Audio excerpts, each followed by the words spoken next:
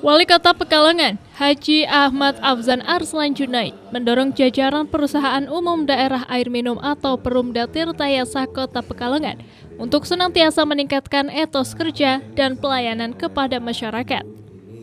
Seiring bertambahnya volume kebutuhan masyarakat, Hal ini disampaikannya saat memberikan pembinaan dan motivasi kerja kepada direktur, kepala bagian atau kabak, dan segenap karyawan Perumda Tirtayasa pada Rabu siang 9 November 2022.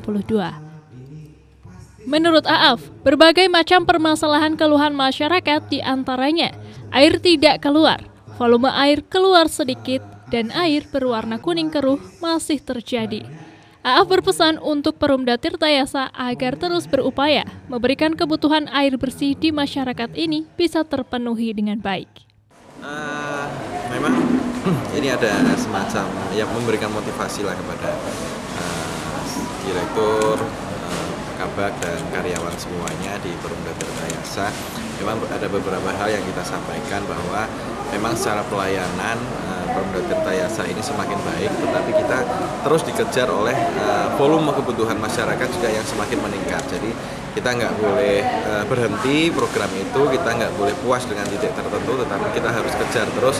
Kita harus karena berbagai macam permasalahan klasik ya seperti air tidak keluar, air volume air uh, kecil, air berwarna kuning dan sebagainya ini di masyarakat masih masih ada ya. Ini nanti untuk kita kejar untuk bagaimana pemenuhan uh, kebutuhan air mereka dan karena ini perusahaan murni tidak ada walaupun di bawah eh, BUMD di bawah pemerintah Kota Pekalongan tetapi semua karyawannya ini adalah uh, rekrutan murni tidak ada ASN saya sampaikan juga kepada para karyawan ada reward and punishment yaitu kalau mau naik gaji, kesejahteraan naik dan sebagainya ya etos kerja, semangat kerja harus lebih ditambah lagi.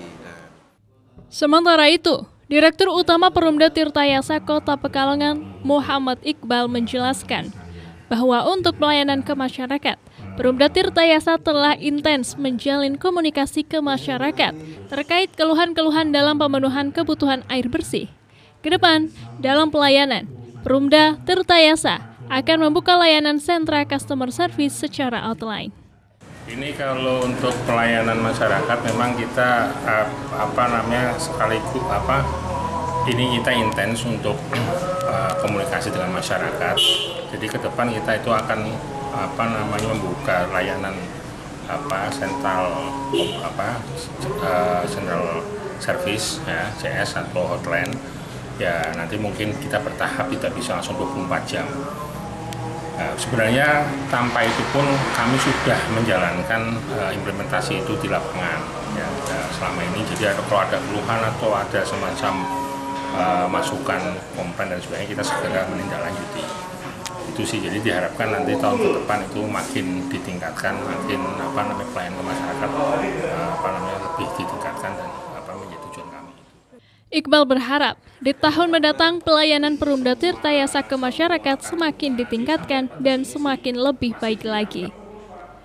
Rafid Fajri, Batik TV, melaporkan.